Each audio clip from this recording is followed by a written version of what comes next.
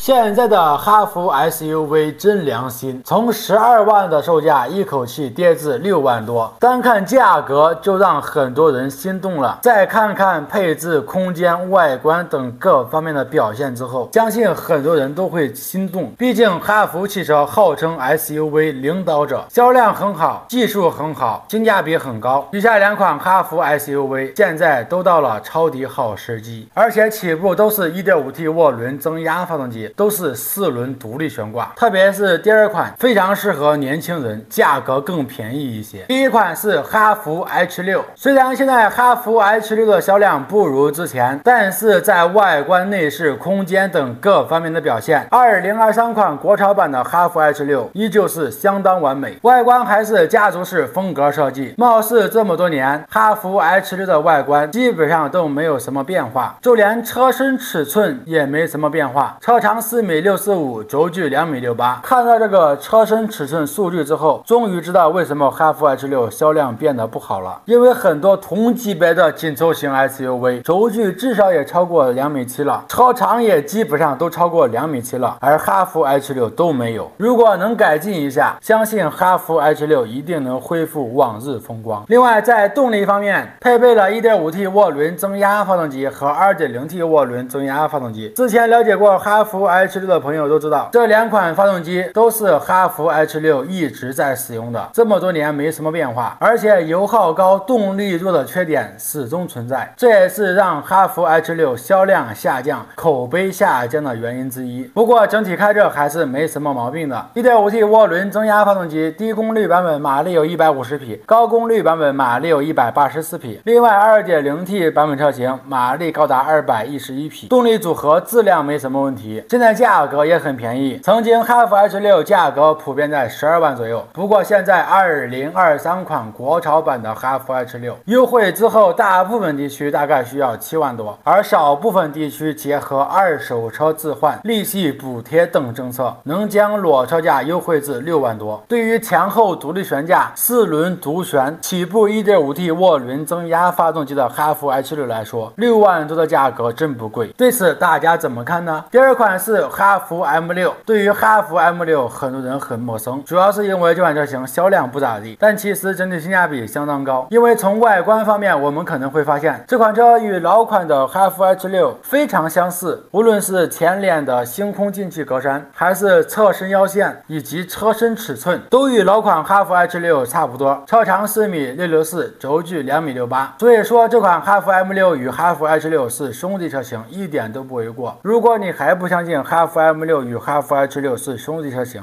那么我再带大家了解一下哈弗 M 六的动力方面。全系配备 1.5T 涡轮增压发动机，而且都是低功率版本车型，马力有150匹。无论是发动机型号还是发动机操控，都与 1.5T 低功率版本的哈弗 H 六一模一样。而且哈弗 M 六所配备的六档手动变速箱，与之前哈弗 H 六手动挡车型也是一模一样。还有同款的七档湿式双离合变速箱，都与哈弗 H 六一样，所以这款哈弗 M 六虽然名气不高，但却非常适合入手，因为价格特别低。它拥有与哈弗 H 六一样十二万级别的品质，但官方指导价仅需要七万一千九到九万两千九，而且优惠过后入门级车型仅需要六万出头。就连七档湿式双离合变速箱自动挡版本，优惠后也仅仅只需要六点九万左右。这样的性价比确实是相当高的，一般不了解车的人都不知道哈弗 M 六，但是真正的老司机都知道，并且保值率也不算低，前后也是独立悬架，与哈弗 H 六外观、空间、车身尺寸、动力、底盘、悬架等各个方面都是差不多的，所以完全可以放心入手。对此大家怎么看呢？好了，本期视频分享就到这里了，我们下期再见，拜拜。